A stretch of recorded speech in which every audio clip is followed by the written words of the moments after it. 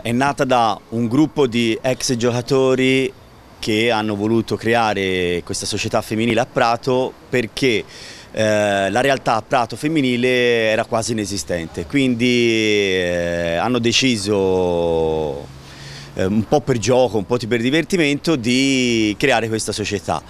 che a lungo del tempo ha fatto valere i, i, i risultati, quindi vincendo per parecchi anni i campionati regionali nelle giovanili, under 15, under 17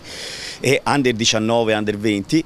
e fino ad arrivare a quest'anno di aver vinto con la categoria under 15 il campionato nazionale.